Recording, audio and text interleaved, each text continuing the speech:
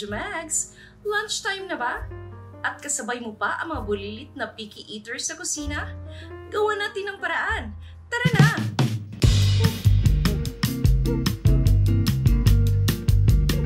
Meron tayo ditong 1/4 kilo of ground pork. Kung meron kayong ground beef, ay mas mainam. I-mince natin ang ating nag-iisang fresh na spices, which is ang onion.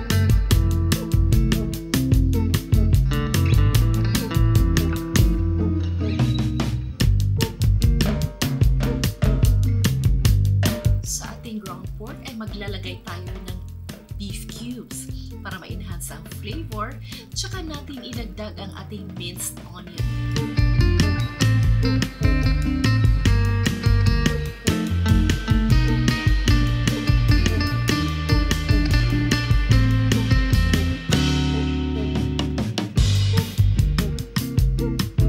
Add paprika for an additional flavor and color.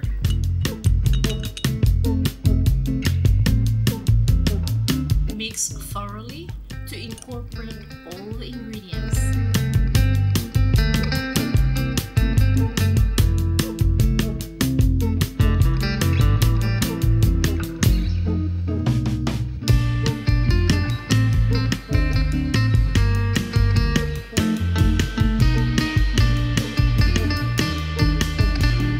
Once na-combine na natin ang lahat ng ingredients, ay maglalagay na tayo ng binder. Kung maramihan ang ginawa natin, pwede tayong gumamit ng itlog. But dahil konti lang ang ating ground pork, maglalagay tayo ng accord powder para maging buo ang ating uh, burger steak.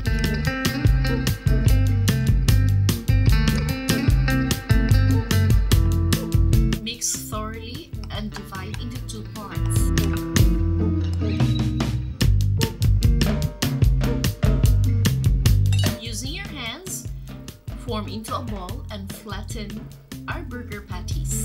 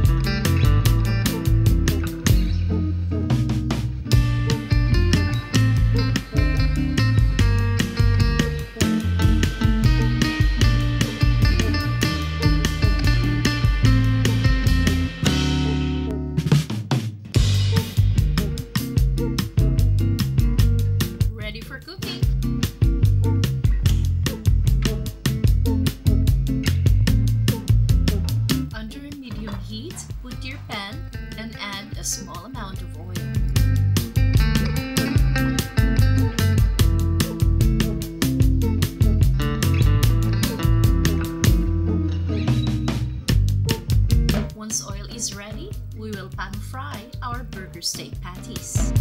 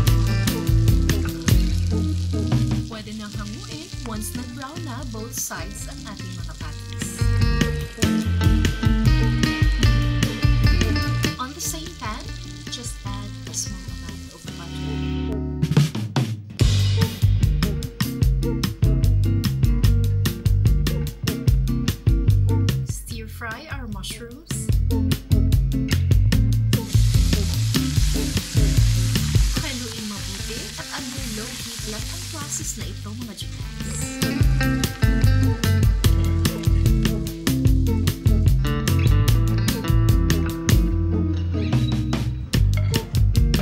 Add another tablespoon of butter. Habang hindi pa completely melted, ay ilagay na natin ang ating flour. Haluin mabuti at siguraduhin na toast at lutong-luto ang ating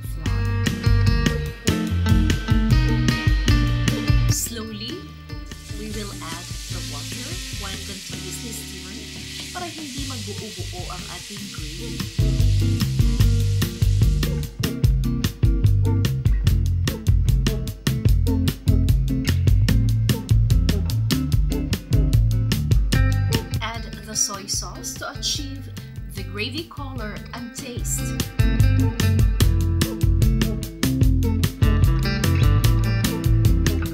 Add seasoning granules and the pepper powder to complete the gravy flavor.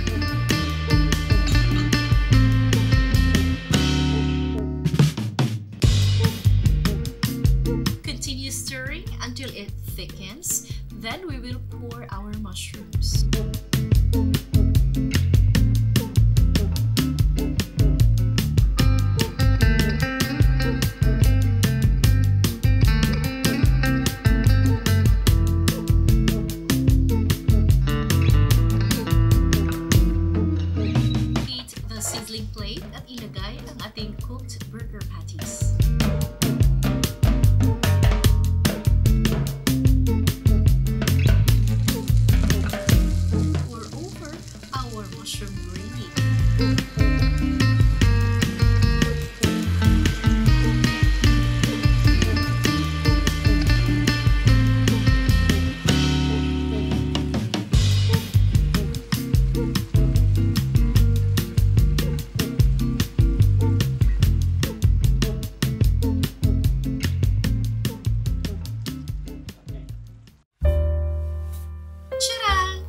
Saucy yummy burger steak.